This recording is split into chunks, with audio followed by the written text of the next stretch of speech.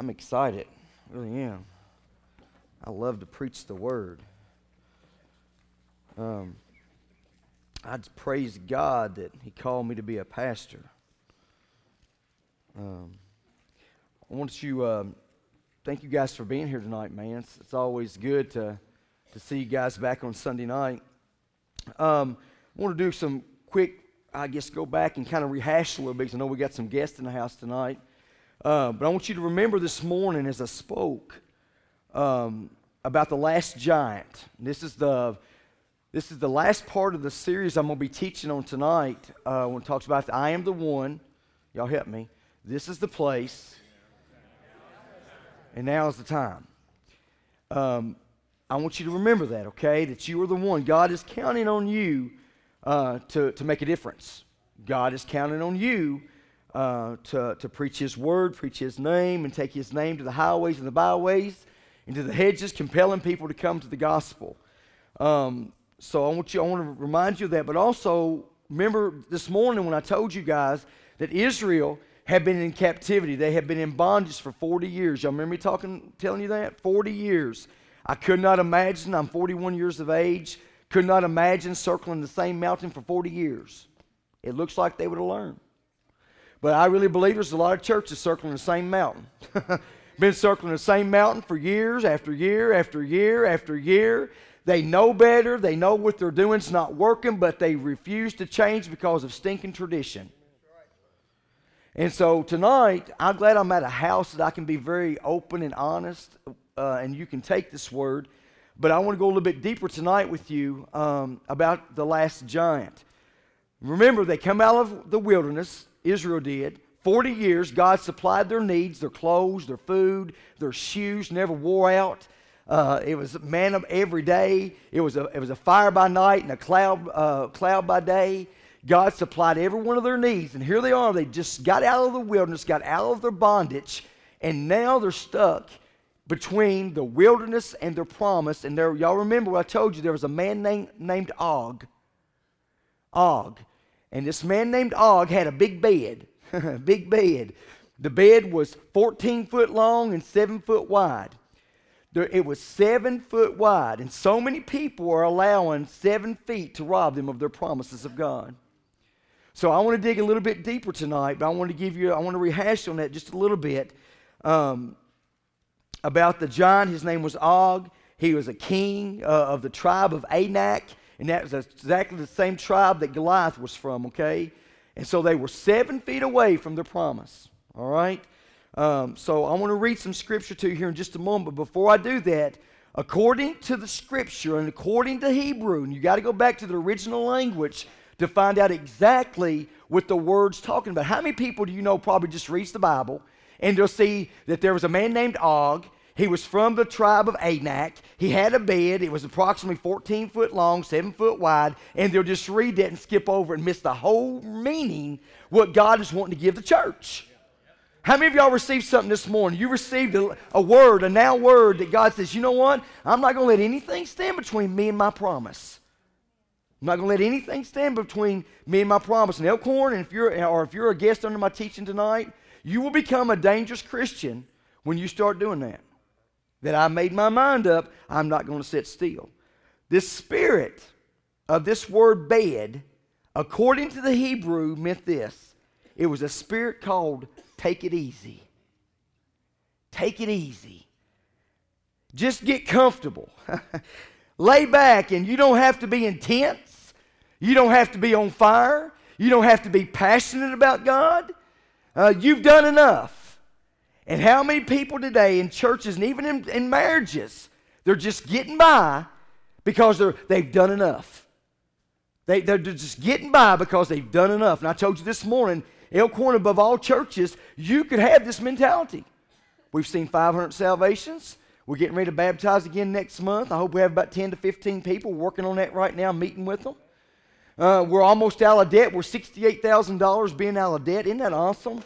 And uh, we're, we're, we're growing by leaps and bounds, and uh, it's just amazing. So, Elkhorn, above all churches, you can sit there and go, Well, Brian, aren't you satisfied? And aren't we, haven't we done enough? No. There's more to do. More, more, more. There's more to do. And so when you look at this bed up here tonight, I don't want you to look at it saying, well, shoo, I can't wait to get there about 930. I don't want you to look at this bed tonight and sit and go, boy, that looks awful comfortable. It is. Why do you think they call it a bed? But so many churches today and so many Christians today are right smack dab in the middle of a king size bed. King size bed. Remember, this spirit will tell you that you, you don't, don't desire nothing else. You've got enough. Don't, don't desire to, know, to be hungry for the Lord. Don't desire to have a deeper prayer life. Don't desire to go forward. Don't desire to, to be enriched by the Spirit. Don't desire these things. Don't, don't dream no more. Don't in your marriage, don't, don't dream no more. Just be satisfied with what God's given you. I've heard that lie all my life. Aren't you just happy with what God's given you? Lord, if we read the Bible, God's got a whole lot more to give us. So why in the world would I be satisfied with 500 people when Campbellsville's got 30 some thousand? Why in the world would I be satisfied with 500 on Sunday morning and out of the 10 houses that you pass coming to church, eight of them don't go to church nowhere? Why in the world would I be satisfied with that mentality? Maybe that's why churches are dying. They're just satisfied. I, we've got enough. Lord, if we keep building, we'll just have a debt. No, you won't. If you're tithe, you won't have a debt. I'm being honest with you. If we'll just tithe and give to the Lord, we won't have to go in debt. And that's my prayer, man. I pray that, man, when it comes building time, that, man, we got money in the bank. How many y'all receive that tonight? Man, we just going to have the money. We ain't going to have to go to the bank. He owns it anyway. Amen. So praise the Lord. So this spirit says, man, take it easy. Get comfortable, Jeremy. You've done enough. Just keep putting Pepsis and Diet Mountain Dews on, the, on the shelves and just do. Be a good Christian young man and go to church on Sunday and Sunday night and don't forget your tithe. of Glory, hallelujah. And if you're really on fire for God, wear a suit. And if you're really on fire with God, teach a Sunday school class. Oh, and how many of y'all have heard this? I've heard this all my life. The real true Christians come to church on Wednesday. Huh? Y'all have. That's why y'all laughing. You, you, you, I've heard that before. But let me show you something. If you are born again and you've got the Spirit of God in you, you will want to serve Him. Let this get in your spirit tonight. The reason why people are not serving, I'm just going to be honest with you. I'm so tired of the fluff gospel. Because, man, they need to be touched by the Holy Spirit. They need, they need to get on fire with the Lord. And I know you say, well, Brian, I, am not loud and I'm not rambunctious and I don't like running the aisles and this, that, and the other. I've never read that in the Bible. Well, here's the thing you don't have to be me and I don't have to be you. You just be who God created you to be. Everybody worships differently. And that's what makes the church beautiful. Miss Alton, have you ever seen Miss Alton on the front row? She don't stand, man. She's 97 years old. She deserves to sit down. Hallelujah. She gets up and gets that little hand, and boy, she'll pat. She's like me because I'm off rhythm, and if she's listening to me, we're really off rhythm. But man, she just loves it. Man, we just need to fall back in love with the Lord. Remember me telling you this morning that most people are satisfied sitting on the outskirts of the wilderness and just looking at their promises? Y'all remember me saying most people, Richie, are just, just satisfied, just sitting on the outskirts of, of, of the premises of the promises, and they're just sitting there looking at what all God could give them. And the reason why they don't move forward is because they know it's going to take more commitment on their part. It's going to take more commitment. Watch this. If we're going to grow, like I know we are, we're going to keep growing and growing and growing and growing and growing. You say, Brian, what, what's going to happen? We're, going, we're not going to get the fellowship. Yes, you will. That's why we have a meet and greet. That's why we have things like that. We're going, we're going to grow. But I'm going to show you most people are satisfied sitting on the outside of the premises, looking at their promises, and sitting there going, man, I'm okay.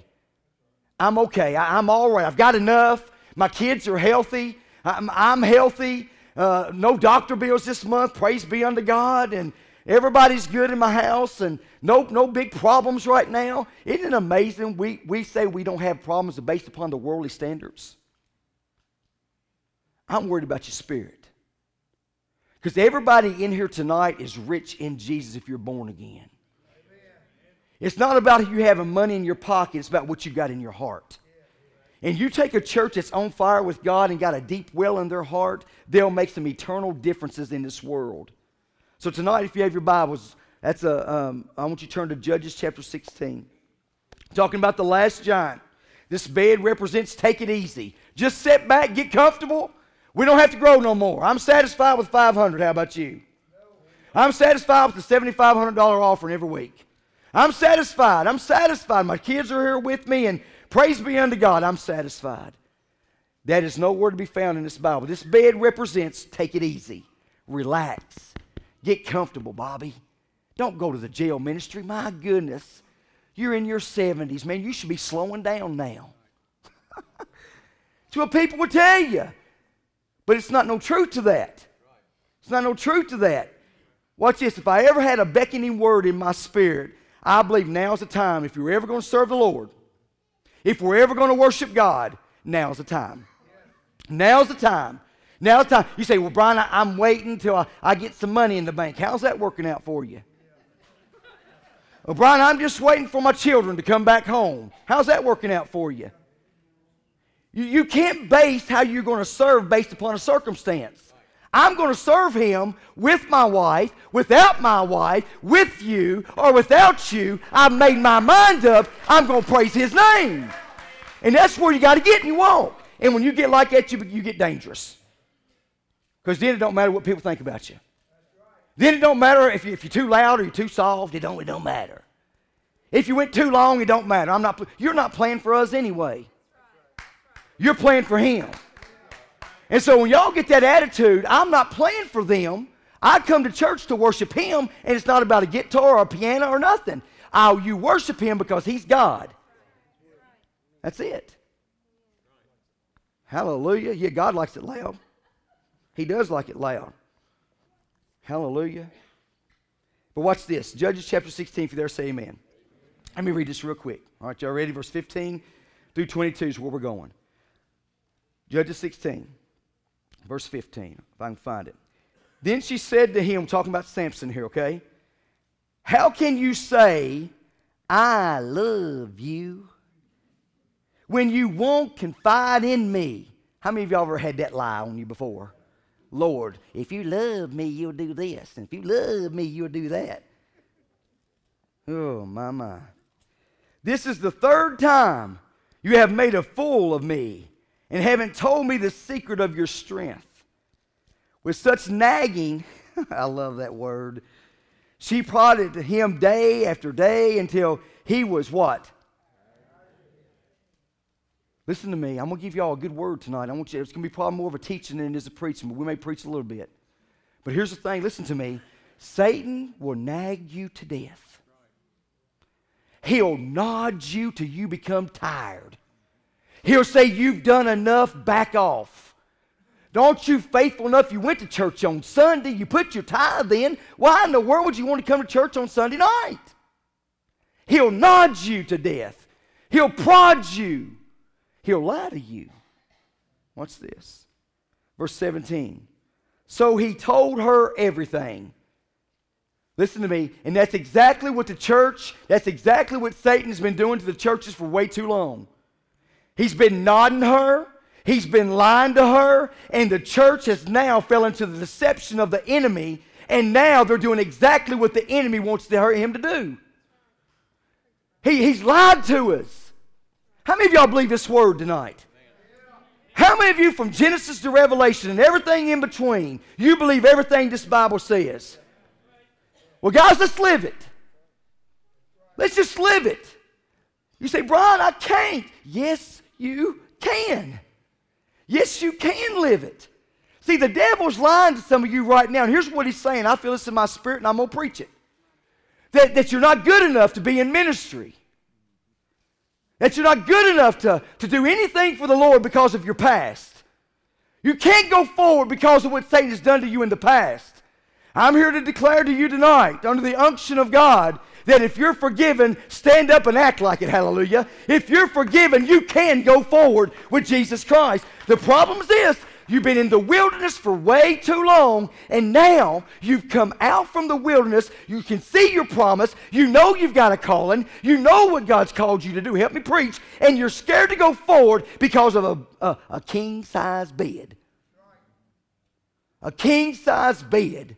I never thought I'd be a pastor of 500 people. I, I never thought this. I never thought I'd get my doctorate degree. Jesus. I never thought you're looking at a young man that used to pass out giving book reports. I never thought I would be your pastor. But man, I love you guys. And I want you to know, man, that we're going to make it in this, in this life together. This is a journey, and we get to live this dream together. Why in the world would we back off and say, well, I remember 1995? That's old. I told Steve Ayers, and I love him, he's hardhead. I said, Steve, I love you, but this is 2013. That word that worked back in 1995 is not going to work right now. We're going forward. So, what I'm trying to tell you is so many people, the devil's been nagging you and nagging you and prodding you and prodding you until you have told him everything. You've told him every little secret of your life, where you're weak and where you can't stand up. And I declare tonight rise up, man and woman of God. Rise up. He's a nothing but a, the old devil's a lie. Old devil's a liar. So he told her everything. He said, No razor has ever been used on my head. He said, Because, listen to this, I have been a, a Nazarite set apart to God Whew. since birth. His mama dedicated him over to God at birth. Man. Listen, it says, if my head were, were shaved, my strength, my power would leave me, and I would become as weak as any other man. Verse 18. When Delilah saw that he had told her everything, she sent word to the rulers of the Philistines come back once more. Give me one more shot. Old devil's like that too. I got them now. I got them now. They're weak now. They've told me everything and they're believing the lies I've been telling them for so long. I've got them now. Watch what he says here. He's told me everything. The rulers and the Philistines returned with the silver in their hands, having put, watch this, having put him to sleep on her lap. Went back to the bed. Went back to the bed. He called a man to shave off the seven braids of his hair. So, and so he began to subdue him, and his strength what? Left him. Verse 20. Then she called Samson, The Philistines are upon you. This is a sad verse, one of the saddest verses in the Bible, but I really believe this is where a lot of churches are at today. Y'all listen to me. He woke from his sleep and thought, I'll go out before and shake myself free, just like I have so many times. But he did not know that the Lord had left him. He did not know that the Lord had left him. I'm going to tell you something tonight under the unction of God. There's a lot of things I don't know in this Bible, but one thing I do know is when God's in this house. There's something that's not for sale in this house. Drugs can't get you high enough. Alcohol can't get you drunk enough. But when you got God in the house, in the church of God, I'm telling you, great things will happen because God's in the house. I wouldn't take nothing for the anointing of God. I wouldn't take nothing for the Spirit of God. I wouldn't take nothing for Greg, you playing that old guitar and making them old strings jump off the guitar. Don't stop. Hallelujah. I wouldn't take nothing, Sarah, for what we got in this church right now. You can have all the money you want to. If this building was stacked up from the floor all the way to the roof with $100 bills, you can have it. Just give me the Lord. Just give me Jesus. Give me what we got in this church. Because I'm telling you, I'm the richest man alive. Because my, my treasure's not laid up in money or in a house or anything. My treasure's laid up in heaven. Give me Jesus. That's all I want. Hallelujah. Thank you, Lord. He said he didn't know that the Lord had left him. Then the Philistines, they, they, they, they seized him. They gouged out his eyes. Notice the first thing, man, this is so good. Notice the first thing they did, Beth. Y'all remember the children of Israel? They got out of the wilderness. They were standing and they were what? They were looking at the promised land. The first thing the enemy will rob from me and you tonight is our vision. A church without a vision will perish. The first thing the enemy will do for as a man in the house of God, he will rob you of your vision. You'll come complacent. You'll become lazy. You'll lay in a bed. You won't have the fire you once had. You won't have the zeal you once had. People ask me all the time, say, Brian, you get tired? I'm telling you, when the anointing of God shows up, it's, it's like the Energizer Bunny. You keep going and going and going. He'll give you strength when you're weak, hallelujah. Hey, people say, How in the world y'all get through 13 nights continuously of praising the Lord? I felt better after 13 than I did at one. It's because when you give God what he, what he deserves. But the first thing the enemy will do, Dixie, when you get just a little breakthrough, and man, you step up there and you say, Woo! I'm not in bondage no more. I don't drink no more. I don't smoke, chew, or do anymore. And you're sitting there, and the first thing the enemy does, he'll gouge your eyes. He'll rob you of your vision. He'll try to derail you, get you off course. And so many churches today are like the children of Israel. They've been around the same mountain for 40 years, and they, I call it an insane church. You go around the same mountain for 40 years expecting a different outcome. That's called insanity. If you want something you've never had, you've got to do something you've never done. If you want to remain how you are, stay like you are. But if you want to change from the Lord, you've got to obey the Lord. Look at this. I, told, I wrote this down.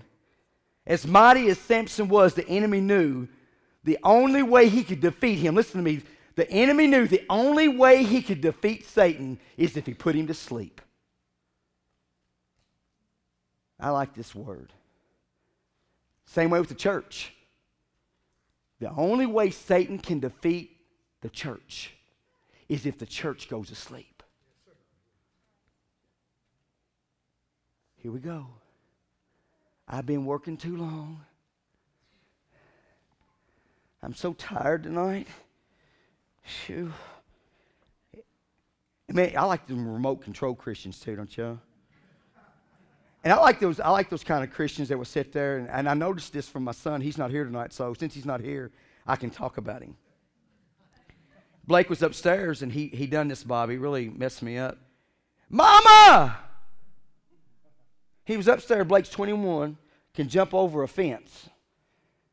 And I'm not going to tell you how old Dana is because I want to stay married. He said, Mama, will you fix me something to eat? And man, that burnt me up. I went to that door and I said, I opened the door. I said, Blake, how old are you? 21.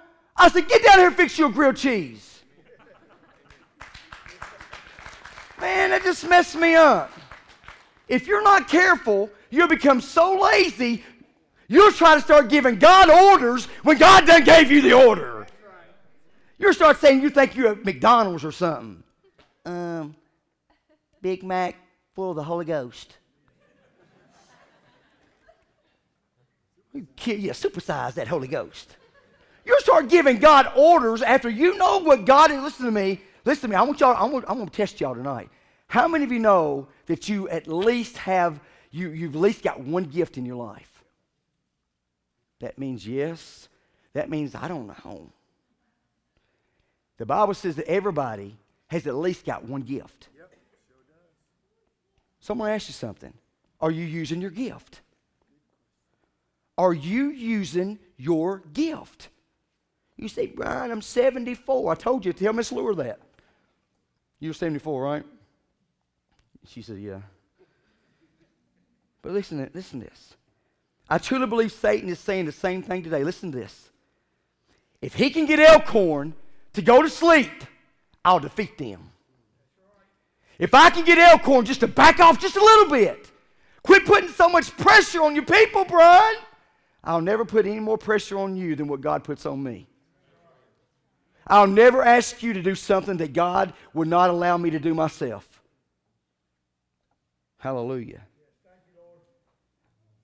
I can just get the Christians in the church. I can hear Satan now to lose their spiritual fire and to become comfortable and lazy and lackadaisio and all these other big words.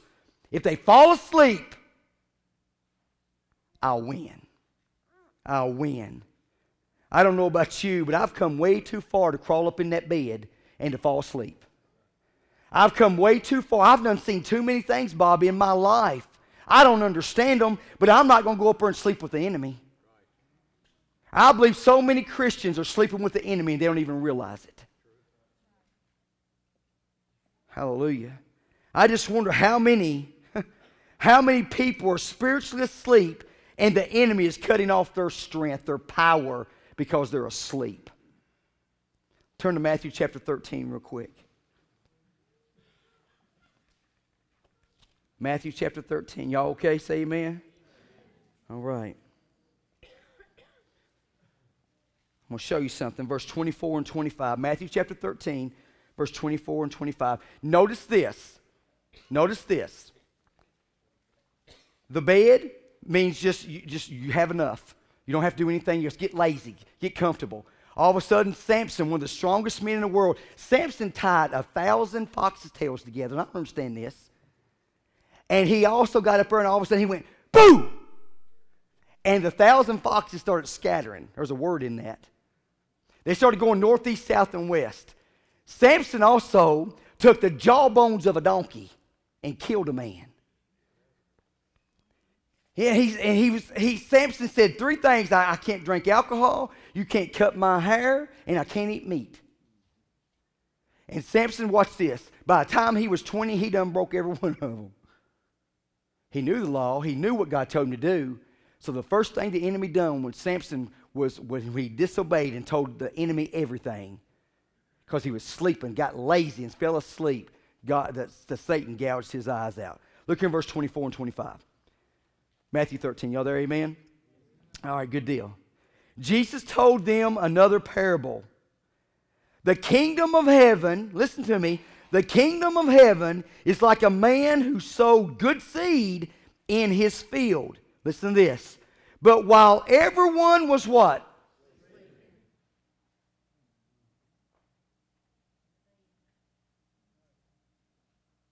While everyone was sleeping, look what happened. The enemy came and sowed weeds among the wheat. While the church was sleeping, like the kingdom of heaven, this is like a, a parable, like a kingdom of heaven. While the church fell asleep, Satan stole the seed. Wow. I just wonder how many people are dying and going to hell because the church is asleep. See, I think Satan loves souls more than the church does a lot of times. I think a lot of times Satan says, I believe in hell because I, I own hell. And I don't care about how big the church is. I don't care what's going on in the church. But he says, watch, while the church is lazy, while the church is comfortable, while the church is laying still, Satan is doing the work. He's stealing the seed. He's telling lies. Boy, that's powerful word. That is so powerful tonight. I just wonder how many seed, how many souls have passed by you, and because you were spiritually asleep, tonight they're going to hell. Whoa, that's a tough word, but it's the right word. When it's right, it's tight. Well, I just don't think I can talk to him about Jesus. Are you saved? It's the Holy Spirit working through you. It ain't you anyway. The Bible says in Jeremiah chapter 1, Jeremiah said, Lord, I can't do it. He said, While I formed you in your mother's womb, I created you to preach to all the nations. He said, I put a word in your belly. All you got to do in verse 10 is open your mouth and God will preach the word. Hallelujah. I'm proof of that tonight. All you got to do is stand up with a boldness in your life and say, Man, God loves you. And God said, I'll put the words deep down in your spirit. Hallelujah. While the church is sleeping, Satan is busy. Watch this Satan does not take a nap. Y'all got this word? Satan does not take a nap. And the church has lost its zeal. I'm going to be honest with you. I deal with it all the time. I go to conferences, preaching events, and they'll ask this question What are y'all doing? Why, why are souls being saved? It's a simple answer. Just preach Jesus. Just preach the Bible. Worship the Lord with all you got while you can have can worship the Lord. And I promise you, God loves people so much he don't want nobody to die and go to hell. The reason why, listen to me, this is tough. The reason why people are dying and going to hell is because the church is asleep. You let every one of us in here get on fire for a soul. You let everybody in this church right now sit and say, you know what? I don't know how to do a lot of things, but you know what? I, am going to lead somebody to Jesus. You let every one of us get spirit filled in this house tonight, and I promise you, you'll have a zeal more than you will for work. Putting 60 or 70 hours in at work and only reading your Bible five minutes a week. Pastors, same thing. Keith, that's what they say about us. We pray 15 to 20 hours, I mean 15 to 20 minutes a day. that's all we pray. That's what statistics say. Well, I think we need to change that stuff. Let's get on fire, church. Is that, is that let me ask you something. Does that do anything to y'all when I sit there and tell you that while the church is sleeping, the enemy's still in seed? Does that bother y'all? Be honest with me. Does that bother you tonight? That while the church is sleeping and getting comfortable and resting, relaxing, got a remote control Christian. Hey, Jesus, send one to me and I may lead them to you. The church is sleeping. They're asleep. And I hope it bothers you so much, y'all, y'all either you get mad at me and do something. Hallelujah. Do something. We got men of God in ordained positions, not never led anybody to Jesus Christ. We got pastors. I talk to them all the time. That's never led a soul to Jesus Christ. So sad. But we're the church upon this rock Matthew chapter 16, verse 18. I'll build my church, and not even the gates of hell shall prevail against it. Greater is he that is in you than he is in the world. If God be for you, who can be against you? Hallelujah! Hallelujah! Hallelujah! And nothing changes in your life. It's like a pepper rally. it's, it's just like an emotional roller coaster anymore. And I'm sitting and telling you, declaring today, I really believe if I had a word that ever fit Elkhorn Baptist Church, that I hope it gets under your saddle, a burr under your saddle tonight, that man, you want to go soul winning. Soul winning. How many of y'all got lost people in your family? Watch this. Isn't this, isn't this something? Now, watch this. Be honest. Be honest. How many of you have ever witnessed to them? Not even half. That's what I'm talking about. You say, Brian, what if I offend them? Offend them and take them to heaven. Quit trying to be politically correct. And I'm telling you, this is the truth. This is a good word. Maybe it's just for me, but I'll take it. I'll receive it. He said these words. How many of y'all, how many of y'all know this? That an alarm clock, every usually most alarm clocks have a snooze button. I thought about this when I was preparing this, this message. Has a snooze button, not my favorite button on the alarm clock. Huh? Y'all, yeah, y'all too, huh? It's got a snooze button. Here it is, man. I know I got to get up early. I know I got to do certain things. And all of a sudden, y'all love will say, you know why they made it? Eh, eh, eh, eh. It's annoying. I hate that sound. Why couldn't he wake you up and say, This is the day, this is, or something? Not me singing it, but somebody else singing it. Why couldn't it be nice music or something? Or get some, uh, I don't know, some Fantasia. I don't know. Get somebody, I don't know if she even talks or even sings Christian music. She does tonight. But man, I'm just saying, you know, here it is, y'all. Y'all know, tell you the truth. Five o'clock, my case seven. Eh, eh. And you're like, what is going on? And you know you got to get up, but what do you do? And you know you only get 10 more minutes. You say, how do you know? Because I hit the four. I love it. 10 more minutes. And boy, that 10 minutes is like your best sleep. It is, then, don't y'all lie. It's your best sleep ever. I mean, man, it's just like when your alarm clock's going off, you're just then now falling asleep. You're like, man, I only got like five minutes. And then you sit there and plead with God, God, please. How many of you have ever done this? Lord, please. God, somehow, in the name of Jesus, make time just dissipate. Make time just disappear. Ank. that ugly, demonic sound comes back. And what do you do? I'm so crazy. If I got to get up at 7, I'll set it for like 6.15 to know I can hit it three times. Y'all do too, don't you? It's just what we do. But y'all think about this. How many of y'all ever done this? I thought about this when I was, I was reading. I was like, man, God is so cool. I said, man, I've been sitting there, I hit it like three times, and then I start justifying. I sit there and go, well, I, ain't, I don't have to shave today. I don't have to shave today. And I feel sorry for you women. Them legs, you know what I'm saying? I'll be good. But we got a little section here. Y'all got the long the legs, you know what I'm saying? And then you start justifying more. Well, I, I, I ironed my stuff last week. Hopefully, it won't have wrinkles. And man, you'll sit there and even justify again. You hit the alarm clock one more time, and ank, ank, ank, and you're sitting there going, Well, if I don't go through McDonald's, that'll save 10 minutes on my coffee. Was it? And I started thinking, I really believe that, man, the alarm is sounding.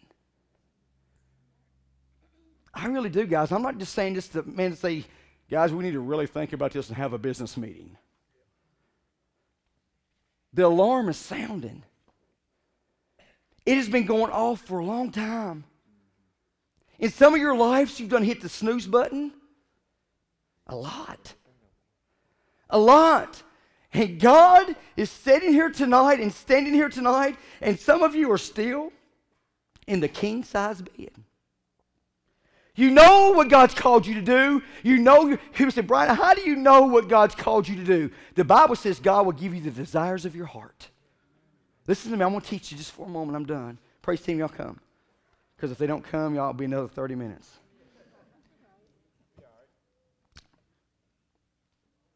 I remember when I was, gosh, I guess 12 or 13 years of age. My mom, and she can still testify to this, Every time I'd get in the shower, we had 1970 wallpaper up. And y'all had like flowers all over and stuff. Carpet was green or orange. You know, now it's coming back in style. That's what's scary. And I remember getting in that shower and I remember preaching like a madman. I remember getting in that shower and mama said, Brian, who are you talking to? I said, Mom, I'm going to lead all the flowers to God tonight. I just loved it. Loved it. I remember at the age of 14, I, I preached my first sermon. And um, scared to death. I still remember the title. Talked about Shadrach, Meshach, and Abednego. I said, watch him go. Five minutes. Don't y'all start. but I've always, inside of me, I just, I wasn't, I wasn't the best teenager. I had my problems, man. I'd done things I shouldn't have done. As I got older, man, I'd done things I shouldn't have done. I looked at things I shouldn't have looked at, been places I shouldn't have been. But I'm not lying to you, man. I couldn't sin good. You know what I'm talking? I just couldn't sin good. I tried, but I couldn't sin good. Bye, baby. But I remember my conviction was so close to, to my heart. And I didn't want to hurt my Father who art in heaven. And you know, I'm 41, and I'm still just as crazy, madly, deeply in love with God like I was when I gave him my heart to Him at the age of seven. I didn't know what I was doing. But man, God's working. I'm living a dream. I'm going to be honest with you guys. This Elkhorn's a dream to me. Y'all are a dream to me. But I really feel and I really hear the urgency of God tell me to speak. Maybe it is just for me. But I hear an alarm going off. Eh, eh, eh, eh. Quit hitting the snooze. It's time to do something. Time to do something. It is time. I come by tonight to give you a wake up call.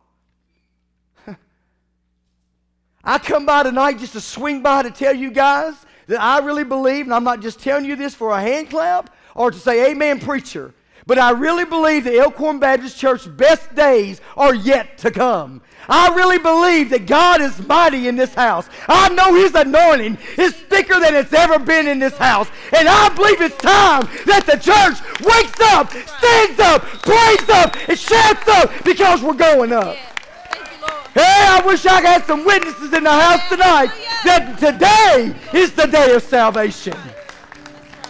The alarm is sounding. Quit hitting the snooze. That's right. Quit hitting the snooze. You may not have 10 more minutes. Donnie Berg, you can testify to that. Did you plan on dying that day?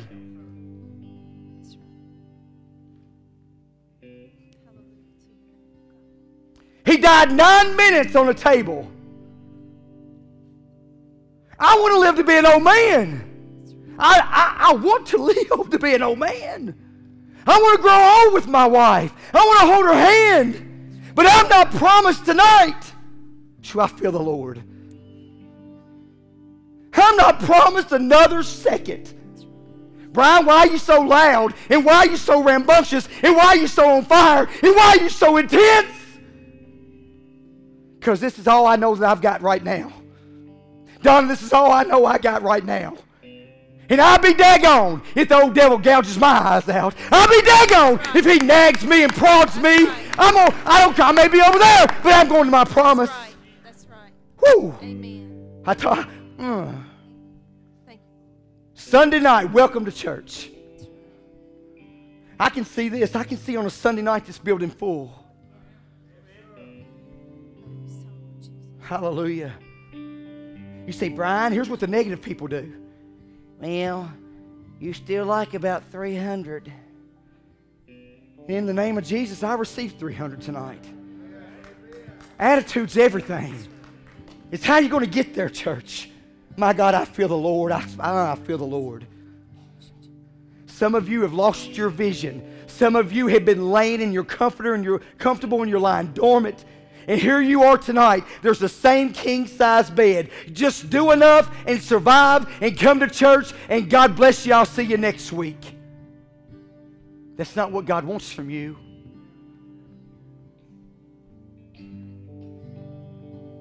Hallelujah. God, I've delivered the mail.